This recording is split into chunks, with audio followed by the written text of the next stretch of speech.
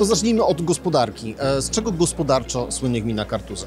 Znaczy Kartuzy to wyjątkowa e, miejscowość i wyjątkowa gmina, bo to jest gmina miejsko-wiejska, e, ponad 205 km kwadratowych, ale d- jesteśmy dumni z tego, że jesteśmy jedynym miastem w Europie, które jest otoczone lasami, a wewnątrz mamy miasta cztery jeziora. Oczywiście to serce Szwajcarii Kaszubskiej, stolica Kaszub. Tak również o tym zawsze mówimy i tak chwalimy się e, mówiąc o Kaszubach.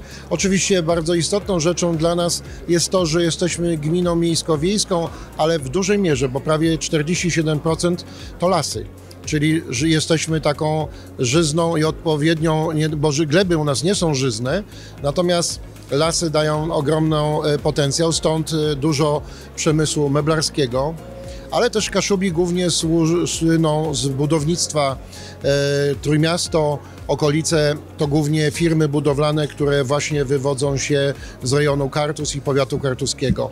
E, z tego jesteśmy słynni, z tego jesteśmy dumni, ale też oczywiście turystyka, regionalizm, język kaszubski, Muzeum Kaszubskie, zabytki, to co jest najważniejsze dla nas Kaszubów, język kaszubski, to wszystko jest w otoczeniu naszego miasta i gminy. Wspomniał Pan na scenie, że jesteśmy w trakcie inwestycji, która jest marzeniem mieszkańców gminy, czyli oczyszczania jezior.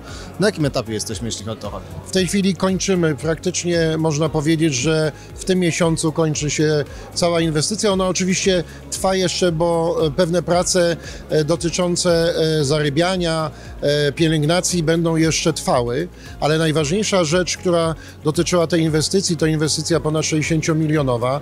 E, To środki e, z budżetu państwa, z Narodowego Funduszu, które pozwoliły nam spełnić marzenie naszych mieszkańców od e, 50 lat. Wyczyściliśmy, wybraliśmy osad z dna szczególnie jednego z jezior najbardziej zanieczyszczonych, 40 hektarów powierzchni.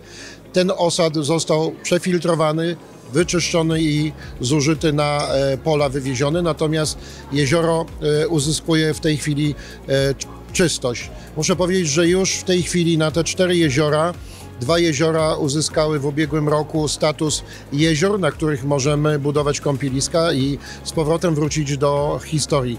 Kiedyś przed wojną Kartuzy były kurortem. Było wiele e, hoteli, wiele pensjonatów, łazienki i mam nadzieję, że do tego również powrócimy niebawem, bo w tym widzimy przyszłość naszego miasta i gminy. Turystyka i regionalizm. A w jakiej perspektywie czasowej możemy do tego wrócić i za jaki czas Kartuzy znowu staną się takim kurortem, może uzdrowiskiem nawet?